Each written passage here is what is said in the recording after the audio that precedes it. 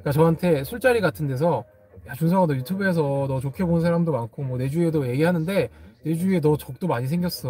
너 개업도 해야 되고 앞으로 계속 살 텐데 어떡하려 그래? 이런 얘기 하는 거예요. 그래서 그쵸. 내 현재 위치를 정확하게 받아들이는 게 겸손입니다. 그래서 사실 솔직히 얘기하면 진짜 거만은 뭐냐면 잘 나가는 사람이 내가 잘 나간다고 얘기하는 게 거만한 게 아니고 누가 봐도 X이 지가 잘 나가는 줄 아는 게 진짜 거만하고 겸손하지 않은 거라고 생각해요. 네. 제주에도 있습니다. 과학고 졸업하고 뭐 의대 치대 가서 기업에서 돈 좀 벌었다고 해서 지가 원래부터 과학고 애들 사이에서 인성 성격도 좋고 뭐 공부도 잘했고 어 이렇게 으스댄 애들이 있어요. 저는 그런 병신들이 제일 거만하고 제일 재수 없다고 생각합니다. 제 영상을 보면서 찔린 애들이 분명 있을 거고 저는 제 유튜브가 한 10만 정도가 만약에 되면 안 되면 영원히 얘기하지 않을 거지만 10만 등이 되면 보통 이제 막 돈도 본격적으로 벌 수도 있고 막 커지니까 주- 말을 조심하는데 저는 아니요. 제 유튜버가 한 10만이 되면 그때는 아예 실명으로 걔를 깔 겁니다. 예. 그러니까 제가 실명으로 까고 싶은 사람들이 몇 명 있습니다. 뭐 치대 의대 교수, 의대 치대 실습할 때 정말 재수 없었던 레지던트들 걔네들 지금 아무렇지도 않게 자식 낳고 기르고 돈도 벌고 살고 있는 애들 꽤 있거든요. 제가 유튜브 시작하고 얼마 안 됐을 때 치대 의대 실습 고발하면서 한 1년 전쯤 한 6개월에서 1년 전쯤에 정말 얘는 내가 한번 영상에서 내가 명예훼손으로 처벌을 받더라도 나는 얘를 까고 싶다. 어 정말 얘는 그러면 분명 나랑 의대 치대나 과학고를 같이 다니는 수많은 사람들이 좋아할 것 같다. 어 이름을 적어보니까 한 다섯 명 여섯 명 있더라고요. 다섯 여섯 명이면 진짜 적은 거죠. 예. 세이코타님이 얘기하죠. 적을 만들지 말라고. 어 제가 적을 안 만들려고 노력해도 적은 무조건 생깁니다. 이 2만 명밖에 안 되는 유튜브에도 보고도 적이 될 사람은 적이 됩니다. 어, 제가 최근에도 얘기했던 얘기가 뭐냐면 꼭 그런 애들 있어요. 저를 생각해 주는 것 같으면서 저한테 겁주는 애들. 야, 너 유튜브 하는 건 좋은데 그 내 주위에도 너 아는 사람도 많긴 한데 그만큼 적도 많이 생기는 것 같아 네가 걱정이 된다. 라고 얘기를 하는데 저는 그, 그 인간이 저를 되게 시기하고 질투하고 있어서 저를 진심으로 생각하지 않는다는 거 이미 최소 10년 이전부터 알고 있었거든요.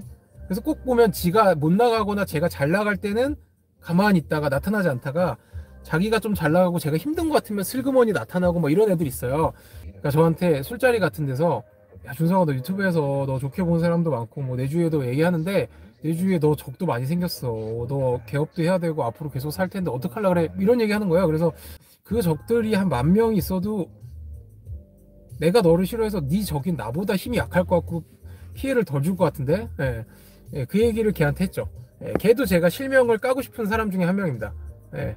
그러니까 차라리 준서가 어 나도 너 영상 보면 뭔가 너가 싫어져. 너 질투도 나기도 하고 아니면 너가 너무 얘기를 세게 해가지고 업계 뭐 비밀도 얘기하는 것 같고 그렇게 얘기하는 애들도 있었어요.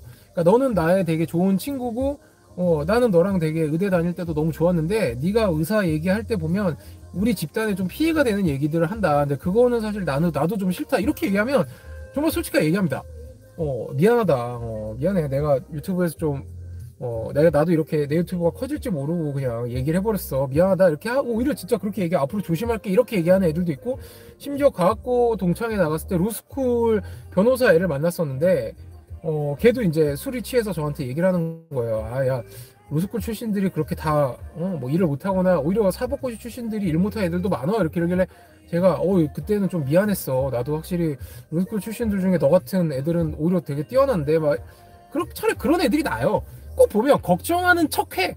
그러니까 그 와중에도 자기가 쪼잔하고 솔직해지고 싶진 않은 거야. 어. 근데 할 말은 하고 싶고. 그래서 내가 걱정한다는 식으로 너 적이 많더라. 속으로 생각했죠.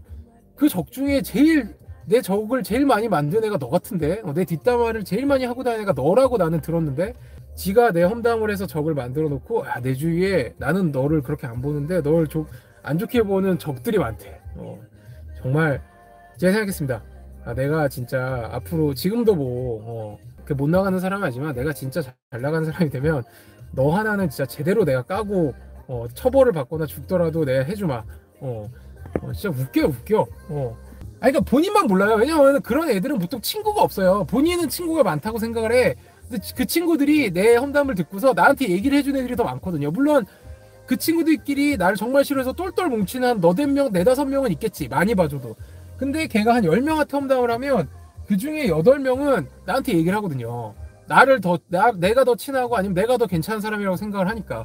본인은 그걸 몰라요. 왜냐면 본인은 그런 애들의 특징 중에 하나가 본인은 항상 완벽하고, 아, 나 정도면 충분히 좋은 사람이라고 생각해요. 예. 저는 그러지 않거든요.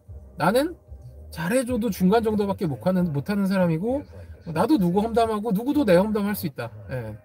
아무튼 그래요. 예. 구독과 좋아요 알림 설정까지. 부탁드려요. 여러분 안녕.